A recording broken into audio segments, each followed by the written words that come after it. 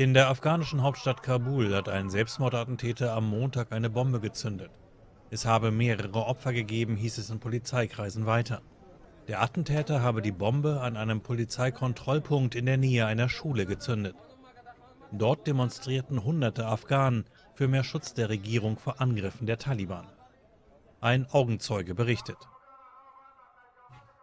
Kurz nach der Explosion kamen Sicherheitsleute. Ich habe auch gesehen, wie Krankenwagen Opfer weggebracht haben. Zu dem Selbstmordanschlag bekannte sich zunächst niemand.